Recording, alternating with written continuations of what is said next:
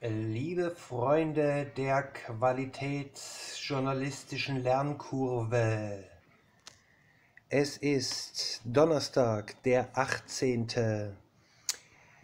Februar 2021. Äh, die 12 Uhr sind lange durch.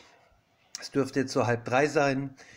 Das Dresdner Corona-Dashboard wurde aktualisiert und es sind zwei Artikel dazu in den Dresdner Neuesten Nachrichten erschienen.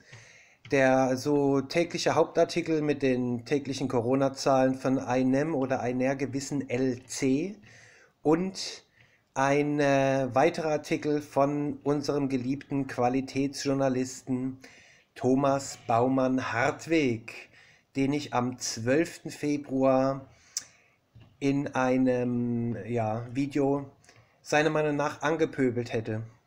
Es hatte den Titel 6 aus 9 oder morbider Qualitätsjournalismus. Ich werde es als End, am Ende des Videos als äh, Infokachel ans Video dranhängen, sodass man sich das dann auch nochmal angucken kann.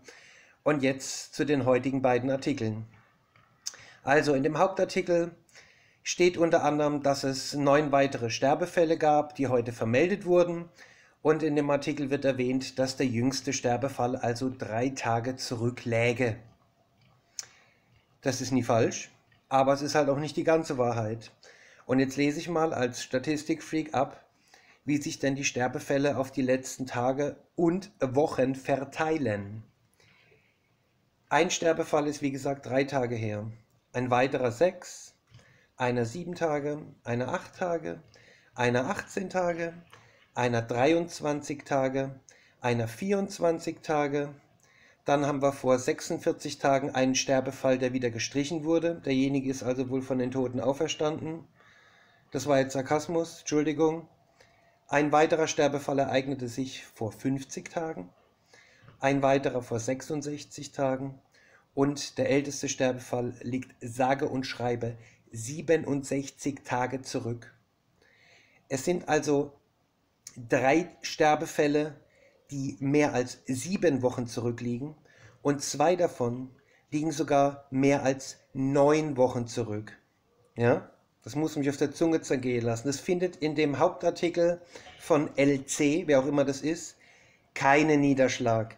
Was darin erwähnt wird, dass es im Februar, ich glaube, wenn ich mich recht entsinne, 44 Todesfälle gab. Auch das ist nicht ganz richtig. Es gab inzwischen wohl dann ähm, 53 Sterbefälle im Februar in 18 Tagen. Gemeldet wurden auf dem Corona-Dashboard aber über 150 Sterbefälle, die sich aber eben nicht alle im Februar ereignet haben, sondern eben größtenteils im Januar und teilweise eben auch im Dezember letzten Jahres.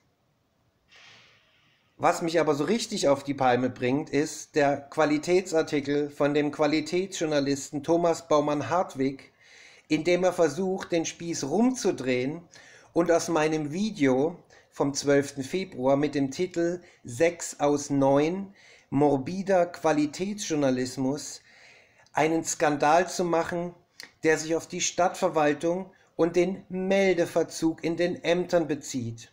Das war nie Thema meines Videos, Herr Thomas Baumann-Hartwig von den Dresdner Neuesten Nachrichten.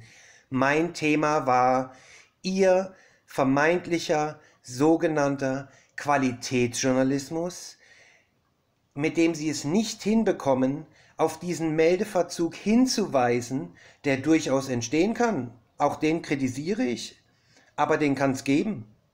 Aber wenn man es nicht hinbekommt, die Stadt insofern zu korrigieren und darauf hinzuweisen, dass dort acht, neun oder sogar zehn Wochen alte Todesfälle so vermeldet werden, auch in Ihrer Zeitung, die Ihnen ja nie gehört. Sie sind nur einer der wenigen festangestellten Journalisten, der Rest sind freie Mitarbeiter oder ähnliches.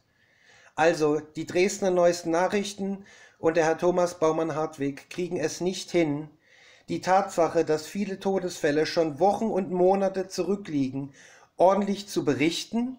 Stattdessen wird der Eindruck erweckt, es wird suggeriert, dass diese Todesfälle ja ein bisschen Meldeverzug haben, aber halt in den letzten Tagen passiert sind. Das entspricht nicht der Wahrheit. Und Sie wissen das. Und sie haben auch eine kurze, kurzzeitige Lernkurve gehabt, indem sie jetzt mal berichtet haben, dass es tatsächlich Meldeverzug gibt, aber so richtig gemeldet haben sie das nicht. Und das werfe ich Ihnen vor. Und das auch zu Recht.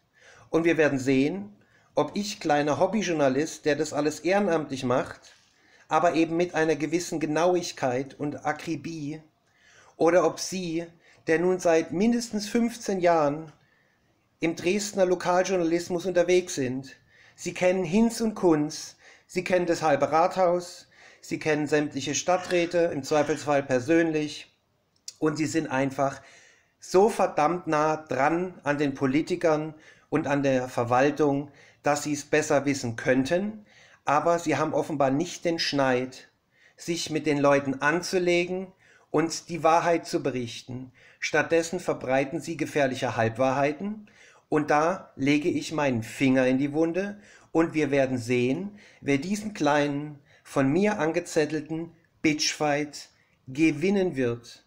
Ich kann Ihnen mitteilen, dass ich sie schon mal gesehen habe dass ich sie auf 70, 75 Kilo einschätze und dass ich auch aufgrund von Corona ungefähr bei 100 oder 105 Kilo liege. Ich bin vielleicht ein journalistisches Leichtgewicht, aber da möchte ich nicht wissen, was Sie dann sind. Sie Qualitätsjournalist. Der Bitchfight geht weiter. Und Sie wissen ja, wie das ist mit den Schweinen. Leg dich nicht mit einem Schwein an, weil im Zweifelsfall suhlt sich das gerne im Dreck. Hm? Sind wir jetzt quitt? Habe ich jetzt schön gepöbelt? Für Sie tue ich alles. Mua.